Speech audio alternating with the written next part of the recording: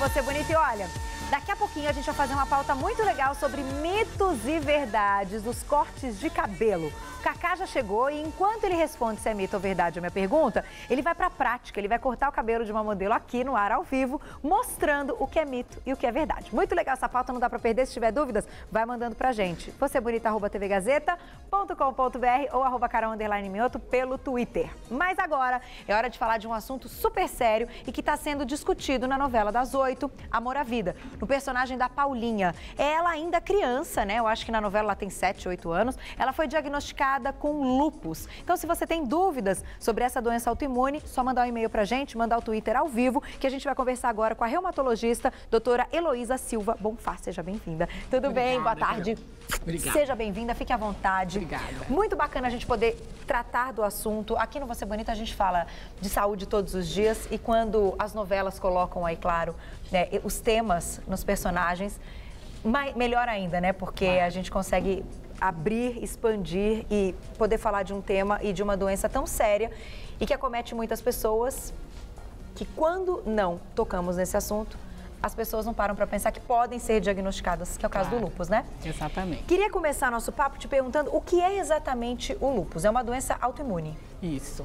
É uma doença autoimune e autoimune significa o seguinte: as uhum. pessoas normais elas têm uma defesa, têm células, têm proteínas que vão defender contra bactéria, contra vírus. Uhum. Nessas pessoas, o que acontece é que esse sistema vai contra o próprio indivíduo. Então, certo. ele agride o rim, o coração, o fígado, como o da Paulinha. Tá. Pode agredir qualquer parte do corpo, inclusive pele, uhum. articulação, uhum. todas as partes do corpo. Então, sempre é, que há uma agressão algum órgão, Isso. há chance de ser lúpus. Não. A agressão pode ocorrer em qualquer doença, tá. né? Assim, nessa doença, ela tem algumas características. Mais frequente, ela pega, dá problemas articulares, uhum. dá fadiga uhum. e afeta a pele e tem uma lesão muito característica que pega a região malar e o dorso do nariz, que forma a asa de borboleta, inclusive que a Paulinha ah, foi, que foi mostrou, que mostrou e que é sensível ao sol. Uhum. Então, essa sensibilidade aumentada ao sol, uma dor articular, fadiga,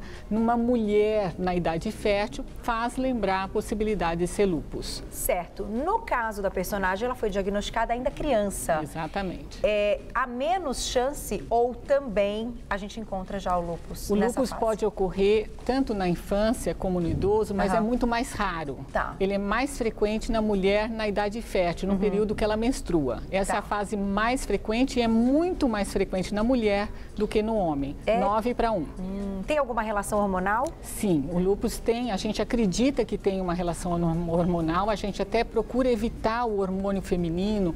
A anticoncepção é feita de uma forma diferente, tá. porque tem uma possibilidade de piora do lúpus hum. se ela tomar a pílula, por exemplo, a pílula que existe disponível para todo mundo, ela tem que tomar uma de progesterona. Ah. Isso é ah. indicado pelo próprio reumatologista, em, junto com uhum. o ginecologista. Ah, entendi. Bom, no caso da personagem, chegou uma pergunta aqui no nosso e-mail. É, atacou então o fígado da Paulinha. Certo. Nem todos os casos é, vai ocorrer da, da mesma maneira. Exato. Então, no caso da personagem, o que, que aconteceu? Ele ataca o fígado e o que, que acontece a partir desse momento? Então, o caso da personagem é um caso muito raro. Uhum acomete o fígado, mas em geral não é grave. Tá. tá? No caso dela foi muito grave e é importante para a gente chamar atenção sobre o assunto. Uhum. Mas o órgão mais acometido é o rim. Tá. tá. E o que acontece hoje é que a gente tem muitas formas de tratamento. Uhum. O lúpus melhorou muito o diagnóstico uhum. e a gente tem outras medicações para tratar. Então é muito raro o caso ser muito grave, como foi o caso dela. Então ela tem duas raridades: pegar uhum. o fígado e ser muito grave. Tá. tá. Então, no caso dela, o fígado dela perdeu a função e teve que tratar com transplante. Então foi um caso é raríssimo. Extremo. Extremo, extremo certo. mesmo.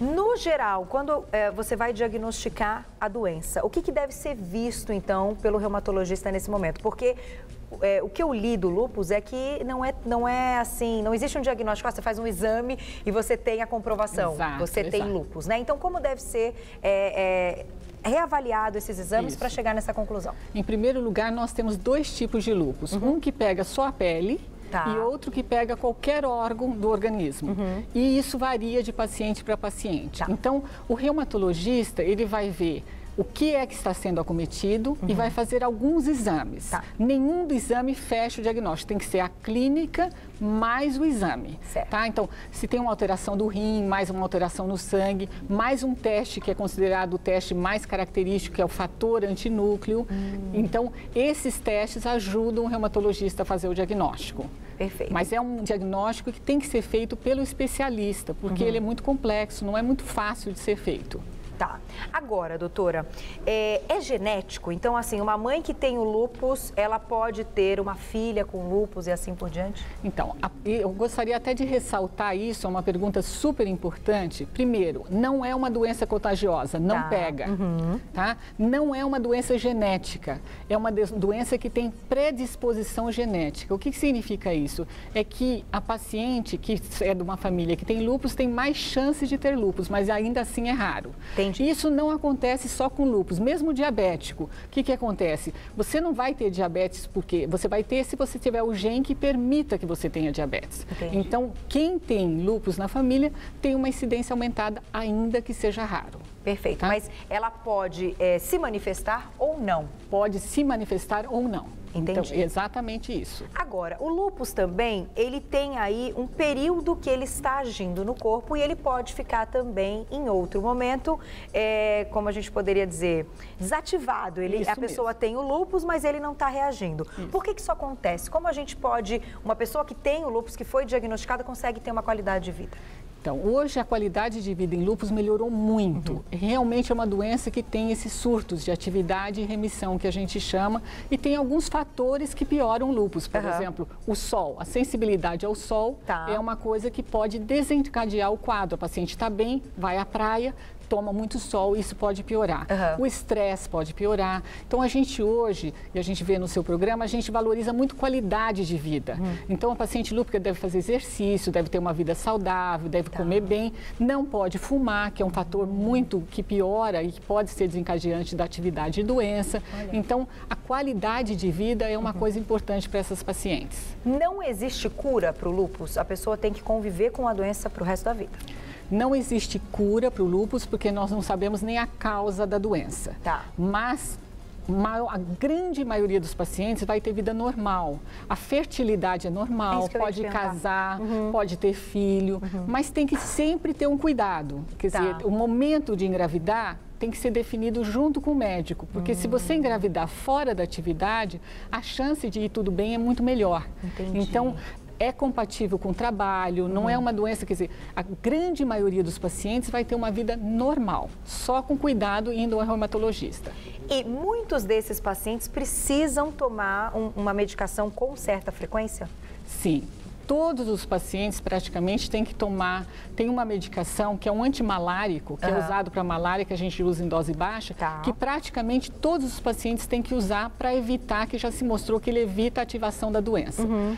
E hoje é, nós temos, podemos até celebrar que nós temos medicações novas para tratar lúpus. Então antes a gente tratava agredindo todo o sistema imune. Então uhum. ele, ele, melhorava o lúpus, mas piorava toda a infecção. Tá. E hoje a gente tem terapias muito específicas, que é só naquela célula que está alterada. Ah, então melhorou muito o tratamento do lúpus. Eu trabalho há 30 anos com lúpus, nunca foi tão bom tratar lúpus, porque a qualidade de vida dos pacientes aumentou, a sobrevida melhorou. Então nós temos uma, assim, uhum. uma perspectiva muito muito positiva para essas pacientes. Muito legal. Eu tive uma, uma uh, perguntinha aqui, na verdade, é um testemunho da Gabi. Gabriela, um beijo para você. Ela disse: Fui diagnosticada com lúpus, porém não tenho sintomas da doença e me cuido ao máximo. É possível, então, esse paciente não apresentar sintomas? Então, esse tem que ser uma, uma, um cuidado que nós devemos, devemos ter, porque o exame positivo não significa que a paciente tem lúpus. Ah, tá? Entendi. A paciente deve ser acompanhada a partir do momento que ela tem esse exame positivo. Tá. tá? A Lady Gaga, por exemplo, fala: Eu tenho o exame positivo positivo e tem o lúpus. Não, ela só tem o exame positivo, porque ela não tem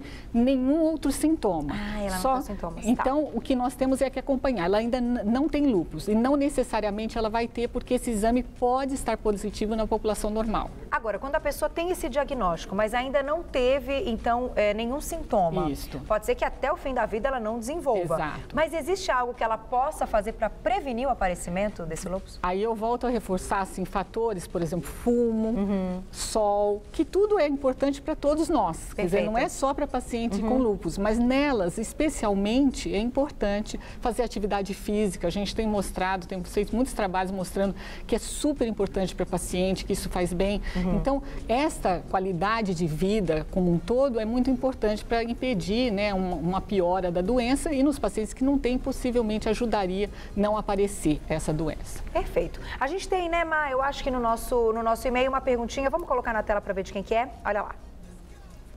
É, da, é do Emanuel. Lupus pode virar câncer? Emanuel, um beijo para você. E aí?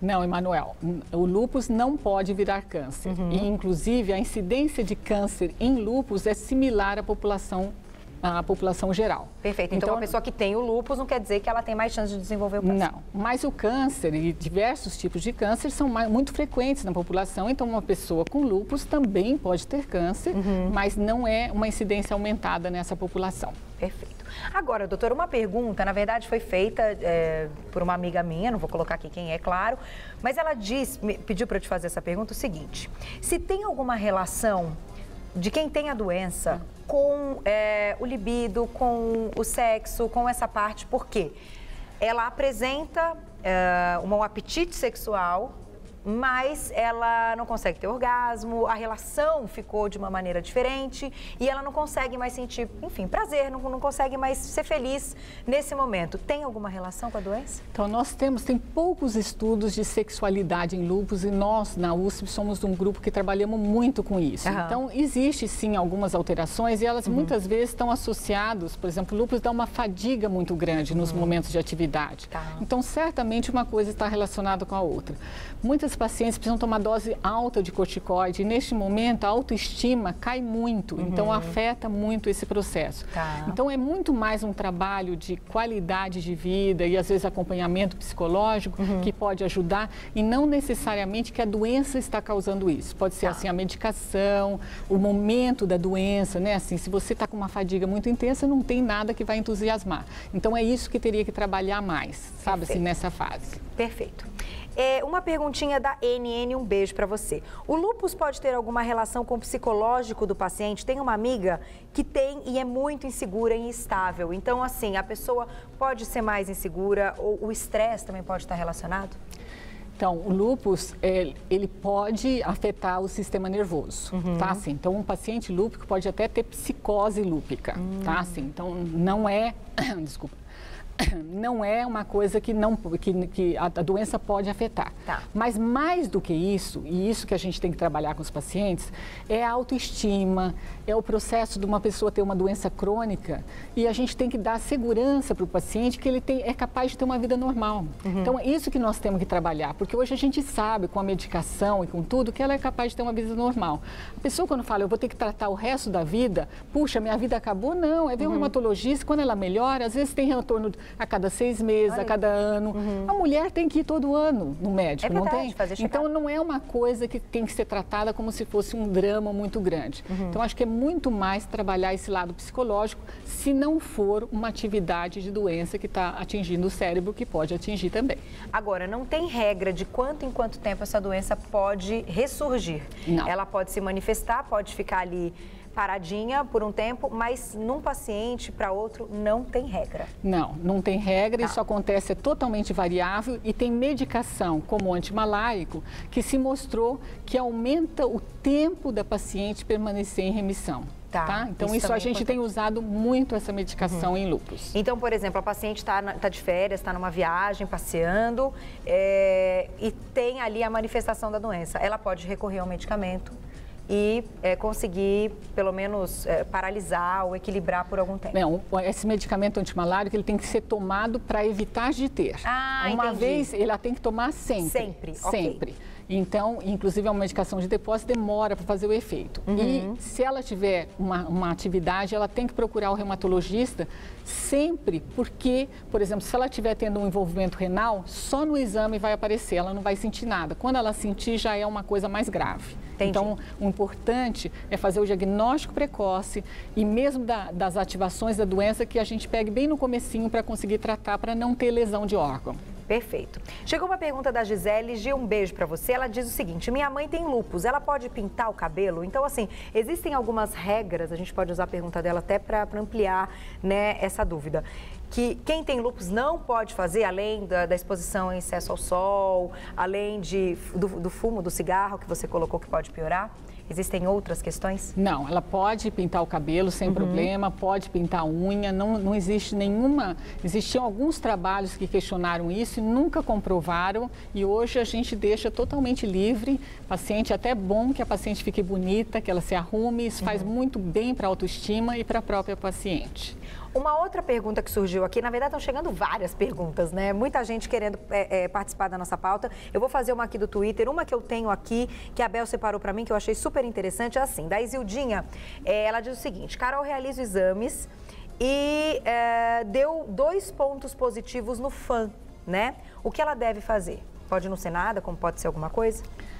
Ela fez o exame possivelmente por alguma razão tá? Sim. Então, é, a gente espera que sim, né? Sim. Então, se ela fez por alguma razão, ela tem que procurar um reumatologista. Certo. Porque, assim, o lúpus, ele pode dar muita coisa, mas nem tudo é lúpus. Tá. Então, essa é a grande questão. O FAM positivo é um teste que a gente fala de screening, de começar a testar, uhum. ele pode ser positivo na população normal. Então, tá. ele não pode ser usado como referência de que a paciente tem lúpus. Uhum. Ela fez o FAM positivo, suponhamos que ela tem uma dor articular, ela deve ir ao reumatologista, porque aí ele vai fazer uns outros exames, procurar outras manifestações que ela possa não ter percebido, uhum. e aí sim ela pode ter o diagnóstico de lúpus, e possivelmente deve ser uma coisa muito leve e vai ser totalmente compatível com uma vida normal. E, claro, a gente fica tentando decifrar aí o resultado dos exames, isso é péssimo. É. E a gente vai lá no doutor Google e fica pior ainda. Então não faça isso, Zildinha, né? Isso serve para muita gente que vai lá no doutor Google, digita, coloca o que tem e aí aparecem coisas horríveis e, e muitas vezes que não tem nem fundamento, né, doutora? Exatamente. Então nada de doutor Google, procure um reumatologista, que aí sim a gente vai ter, claro, eh, o diagnóstico correto. Uma pergunta muito legal: quem tem lupus pode, deve tomar vacinas? Como é essa parte é, é ligada a outras doenças, essas prevenções? Isso, vacina é super importante. Uhum. A paciente lúpica, ela tem mais chance de ter infecção tá. pela própria doença e também pela medicação que nós tratamos. Hum. Então, essa paciente é uma paciente especial que deve tomar vacina. Tá. A grande questão é que ela não deve tomar vacina com vírus vivo, hum, tá? Entendi. Então, nós temos algumas vacinas, por exemplo, febre amarela. Então, algumas vacinas que são com vírus vivo, ela não deve tomar porque pode, essa vacina, por princípio, ela dá uma infecçãozinha leve e nessa hum. paciente pode ser muito grave. Entendi. Então, se ela vai tomar vacina, ela deve pedir orientação para o reumatologista. Uhum mas ela deve tomar vacina, tá? Assim, é muito importante tomar vacina. Para se prevenir aí de outras... De, de outras doenças, com certeza. Muito bom. Quero agradecer a doutora Heloísa Silva, mas antes queria que você mostrasse a sua apostila, que eu achei muito bacana. Pode falar um pouquinho sobre ela. Então, esse é uma apostila que foi feita pela Sociedade Brasileira de Reumatologia e ela está disponível no site, tá? As pessoas podem fazer o download gratuito, abaixar gratuitamente. Olha que bacana. Ela tem perguntas para pessoas leigas que, é, sobre lupus, perguntas e respostas, e tem até nome de médicos da área de reumatologias que podem atender esses pacientes. Então, ela pode, essa apostila pode ser muito útil para quem tiver dúvidas sobre lupus. Tá aqui. Muito legal. Deixa eu dar uma olhadinha. Uhum. Não, e, e é bacana, que bom que a novela pode colocar esses assuntos, tratar, colocar aí é, em pauta